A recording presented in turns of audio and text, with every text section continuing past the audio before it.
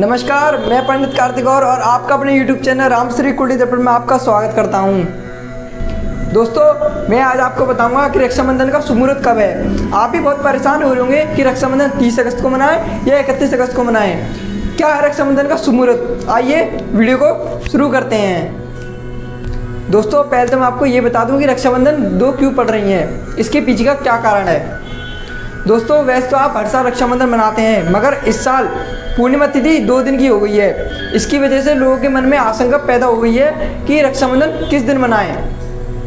इस साल रक्षाबंधन सुमुहूर्त अभाव होने के कारण और भद्रा लगने के वजह से रक्षाबंधन मनाने की दुविधा की स्थिति उत्पन्न हो गई है। दोस्तों, मैं आपको रक्षाबंधन का सुमुहूर्त बता रहा हूँ। आप नोट कर लें।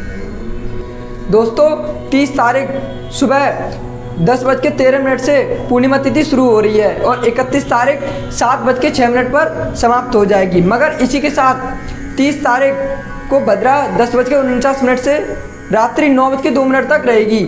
ये अशुभ मुहूर्त है। इसकी वजह से आप रक्षाबंधन इस समय नहीं मना सकते। इसका एक उदाहरण भी है। रावण ने अपनी बहन से इसी भद्रा काल में राखी बनवाई थी। इसकी वजह से उसके पूरे साम्राज्य का नाश हो गया। तो मैं आपको ये सलाह देता हूँ कि आप अशुभ मुहूर्त में राखी ना बनवाएँ शुभ मुहूर्त में ही रक्षाबंधन मनाएँ। दोस्तों 30 अगस्त की रात्रि को नौ बज के दो मिनट से आप सात बज के छः मिनट के बीच रक्षाबंधन मना सकते हैं और इकतीस तारीख को आप पूरे दिन रक्षाबंधन मना सकते हैं, मगर एक बज के तीस मिनट से तीन बजे तक दोपहर को रक्षाबंधन नहीं मना सकते। ये अशुभ मुहूर्त है। इसमें राहु काल लग रहा है। दोस्तों, आशा करता हूँ आपको ये जानकारी अच्छी लगी होगी। मेरी और हमारे राम श्री दर्पण चैनल की तरफ़ से आप सभी को रक्षाबंधन की हार्दिक शुभकामनाएँ।